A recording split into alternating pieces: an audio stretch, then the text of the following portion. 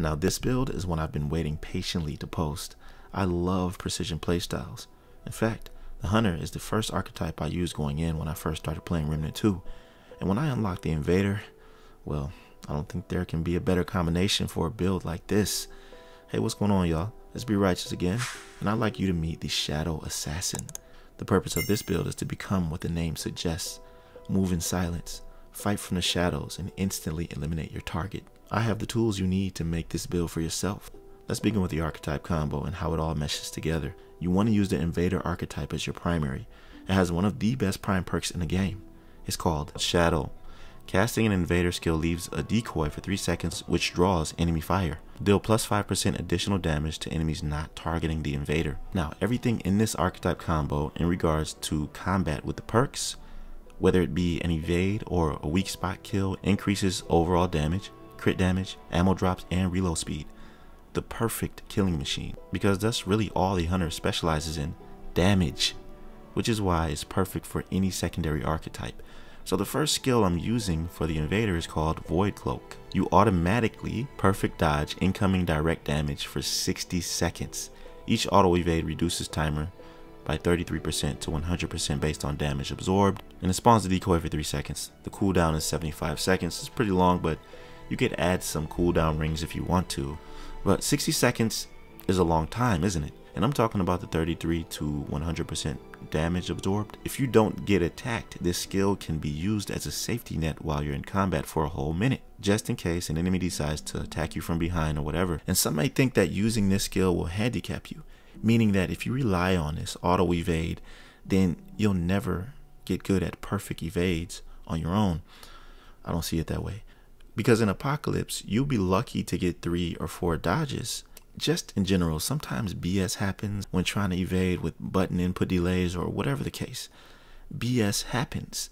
So this is nice to have so that it can circumvent some of those untimely mistakes. Also, as I said before, I see it as a safety net, a way to teach you what a perfect evade actually is. There was a couple times when I was fighting the Fey King when he did his one hit fire damage from below, I would evade a little bit too early and then the perfect evade would save me. So I'm like, okay, now I gotta wait a little bit longer to evade so that I can dodge that. This is really good practice. Plus, it pretty much guarantees free damage since I'm using a ring called Feedback Loop. Perfect Dodge triggers a 3 meter AoE blast that deals 115 shock and applies overloaded. First of all, this deals insane damage without any buffs. Secondly, the Shadow Prime perk when upgraded to level 10 deals 15% additional damage to enemies not targeting the invader. So the shadow I leave behind ensures the enemy won't be looking at me. That being said, this is exactly what this build exemplifies. Furthermore, the ring I have to complement this is the Assassin Seal. You know that ring that you get right before you get the Assassin's Blade? This also grants 10% damage to targets not attacking me and reduces awareness of the enemy by 25%. So almost every single arrow I fire is when the enemy doesn't know. Sometimes when I fall back a little, they even lose interest in me. That's how much stealth this build has. You see why it's called the Shadow Assassin, right? By the way, I'm using Hunter's Shroud for my second skill, so I alternate between the two. It's the perfect fusion. The amulet I have is called the Energy Diverter. While a shield is active, gain 10% crit chance and 15% to all damage dealt. Now this, in the tightly wound coil ring, which is when spending 75% or more of current magazine, gain a shield for 10% of max health for 5 seconds, does not stack with itself. With any bow, the ammo count is always less than 75%. So this means that you get a shield every time you fire, which then gives you the bonus from Energy Diverter. This is such an amazing combo. Now this bow I got from Nimue's Dream. Just wait for her to sleep, then use the dream catcher on her to get the crystal. You can then craft it at Ward 13. But this bow has to be the best in the game. I haven't used the other one yet. Um, I forgot what it's called. But here's what this bow does. When activating the skill, regular shots automatically become charged shots, and charged shots fire two arrows at once then returning the arrows that hit back into your ammo count. So this bow is extremely powerful, and I almost feel like I should be using an Archon Hunter combo so that I can activate the skill a lot more frequently. But that's a build for another day. The mutator on here is crazy too. It's called Supercharger. It increases the charge speed of bows and fusion rifles by 10%. Charge primary shots gain 15% critical chance. Now, critical hit chance is hard to get. 15% is a lot. And you know crit is the source of DPS in this game because it's multiplicative damage. So if you happen to get a crit weak spot is when you really start to see the enemy bosses and elites getting chunked. Speaking of weak shot damage, check out this ring. It's called the Ring of Flawed Beauty. You can get this from Cass. One day she'll have it in her inventory and I was just lucky to get it today. Ranged weak spot damage is increased by 25%, but range damage is reduced by 15% when failing to hit a weak spot. This further emphasizes the fact that this is for a precision player. Your goal is to only go for weak spot damage, and when you do, the reward will be worth it. But what if you go against an enemy who has no weak spot?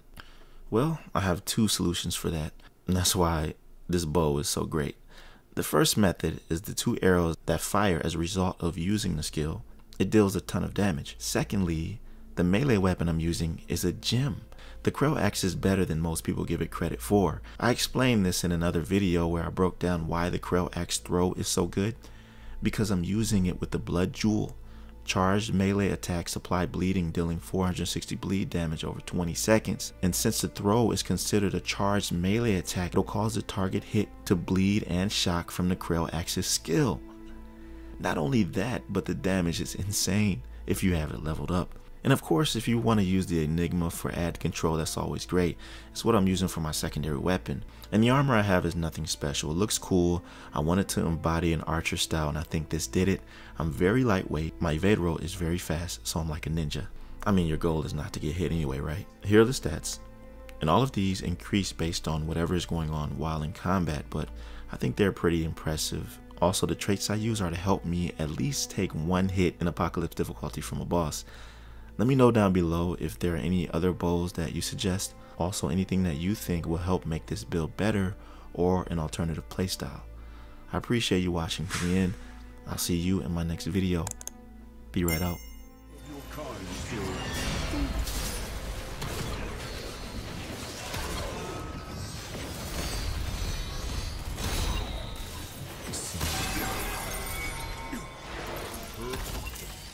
Whatever you are, you are not stronger than the Fed.